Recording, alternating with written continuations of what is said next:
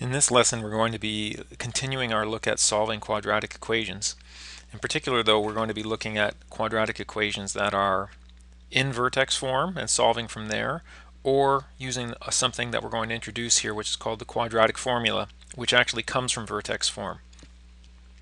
Now this first exercise you don't actually need to put it into vertex form but I'm starting with that. You A lot of times you'll just be given the equation in vertex form. So I'll start with y equals x squared minus 12x plus 32. And to put that into vertex form, I need to look at this value from the middle, this negative 12. I want to divide that by 2, giving me negative 6. And then I take that value, negative 6, and I square it, giving me positive 36. So to put that into vertex form, what I do is I keep the first two terms, the quadratic term and the linear term, and then I do what's called completing the square. I want to create a perfect square trinomial. And plus 36 would be what I need to take those three into a perfect square. But I can't make 36 appear out of nowhere, so I subtract 36. And then I have this plus 32 on the end. Those three are a perfect square trinomial. So now I get y equals, these three together are x minus 6 all squared. And on the end I've got minus 36 plus 32 gives me minus 4. So that's A. That's just a quick refresher on what I mean by completing the square. Worth reviewing anyway because the idea of completing the square is also where the quadratic formula comes from.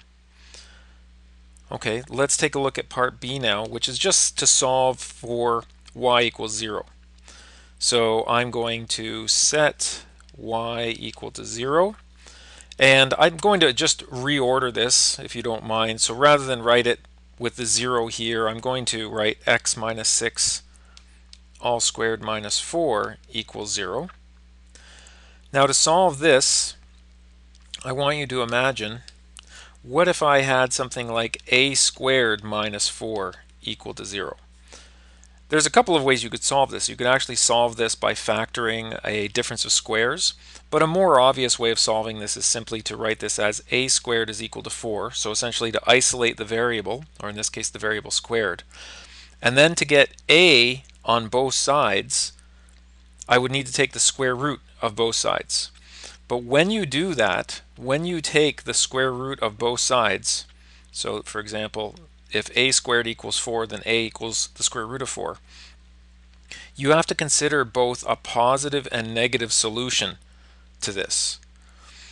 Now, let me just finish this off and then I'll explain why that's why that has to be the case. So the square root of 4 is a perfect square, so that's plus or minus 2. Now why does that make sense? Well, the reason is because I want something that I square and that gives me an answer of 4. So looking at this line, something squared gives me an answer of 4. Well, if I put in 2 and I square it, 2 squared is equal to 4. If I put in negative 2 and square it, that's also equal to positive 4. So there are actually two possible answers to this quadratic equation.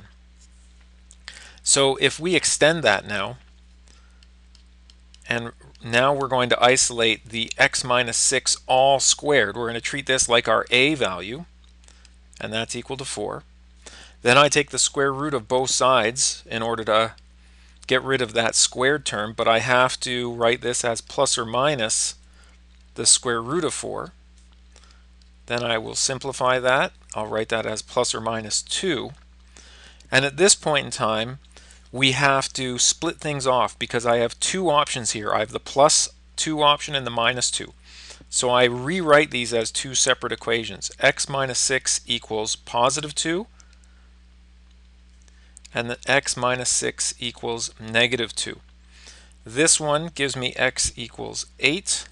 This one gives me x equals negative 2 plus 6 is positive 4. And so there are my two answers using vertex form to solve. Now it turns out this example I gave, x squared minus 12x plus 32, is actually factorable. We could have solved this by going to factored form as well. But that will only work when the answers work out to be integers or rational numbers, so for example, if we'd gotten an answer like 3 over 2, if you get answers like that, then that means that you could have factored. But if you ended up with an answer like the square root of 17, there's no way you could have found this answer using factored form. It's not possible.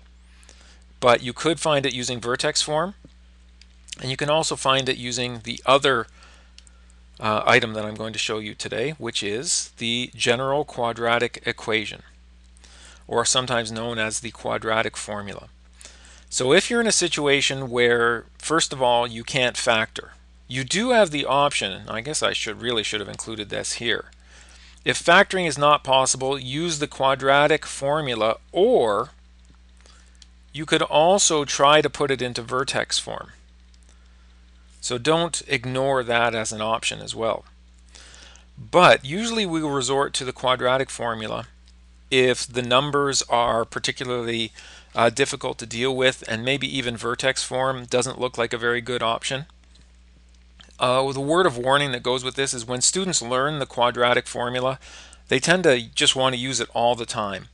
And using the quadratic formula, while it's a useful tool, it is the crudest tool that you have in your quadratic kit in the sense that using this does not give you the chance to show that you understand very much math. It's very blind. And so you have to be ready for, for example, a math teacher not to give you full credit for using this formula where something better would be appropriate. If you just blindly apply this formula, you'll probably get a lot of correct answers, but you shouldn't expect to get full marks. There are times, however, when this is absolutely the right thing to do. And so developing your math school skills involves figuring out those times. Now I'm not going to go through the derivation of this. For the textbooks that were the textbook that we're currently using, there is a derivation as I've shown here on page 337 and 338. Um, another thing to note is the quadratic formula is based on standard form.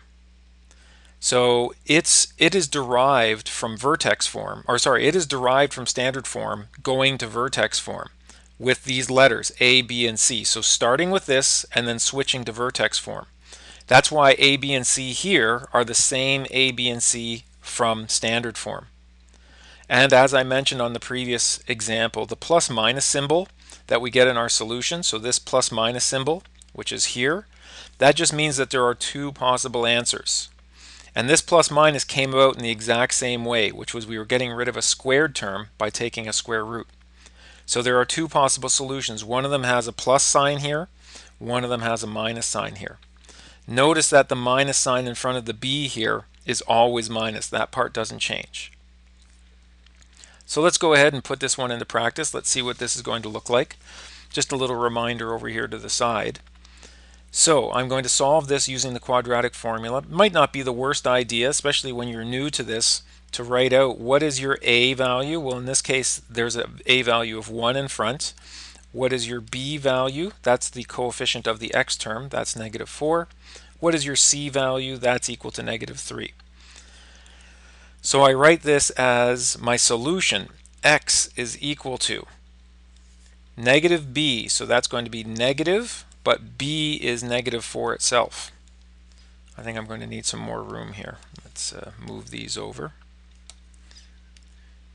Plus or minus the square root of b squared. Well, that's going to be negative 4 squared minus 4 times a, which is 1, times c, which is negative 3. All divided by 2 times a, which is 2 times 1. Now you can split this whenever you like. We're eventually going to have to split the plus and minus into two different expressions, but it's not a bad idea to simplify it first. So negative of negative 4 is just positive 4, plus or minus. Negative 4 all squared is 16, minus 4 times 1 times negative 3, that's going to become plus 12. And don't forget that was under a square root sign, over 2. And one last simplifying step before I split it off.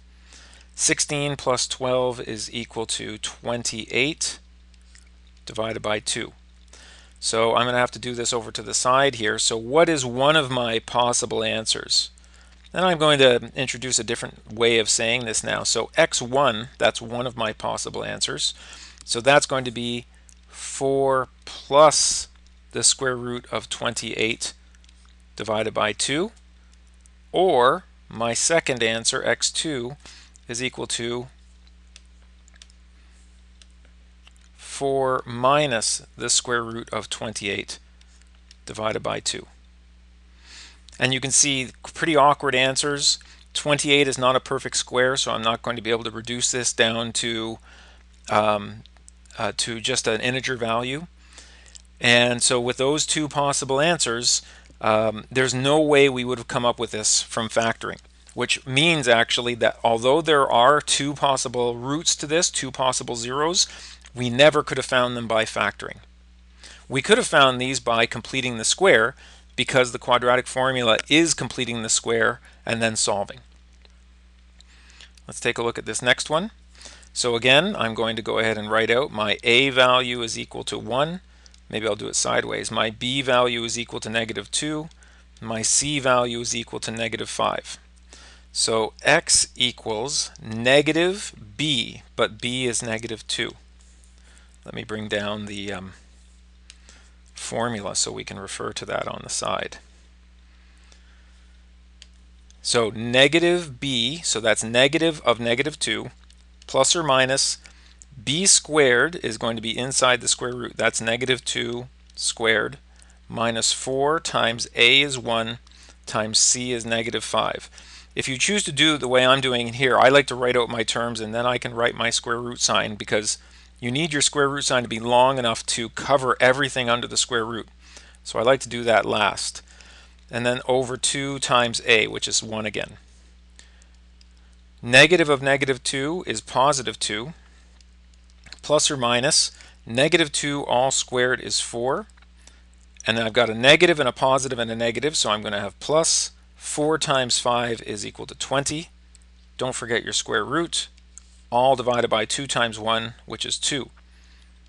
And so last simplifying step, plus or minus square root of 24, all divided by 2. And so this means I have two solutions. My first solution is 2 plus square root of 24 divided by 2, or x2 is equal to 2 minus square root of 24 divided by 2. Okay, and that's it. Fairly short lesson, and uh, there's the homework.